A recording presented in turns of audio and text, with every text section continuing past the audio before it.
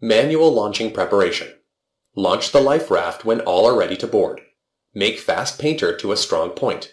Release the lashings. Launching life raft. Check for any obstruction in the water. Throw the life raft in the water.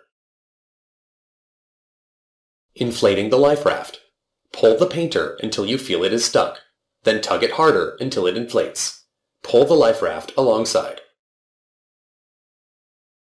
Righting the life raft if the life raft opens upside down or capsized. Turn the life raft until facing the wind. Stand on the CO2 bottle and grab the righting strap. Lean back and pull the righting strap using own weight and wind. When it starts to fall back, move away from the life raft. Boarding the life raft. Use the boarding ladder to board. Jump onto the life raft only from lower heights and when no one is inside the life raft. If unable to bring the life raft closer to ship, enter the water from lower level as possible, preferably from upstream, then swim towards the life raft. Moving away from the ship.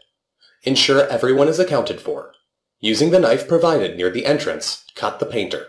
Using the paddles, move quickly and away from the ship. Automatic release of life raft. When there is no time to manually release the life raft, the crew should wear the life jacket and jump into the water and swim away from sinking ship.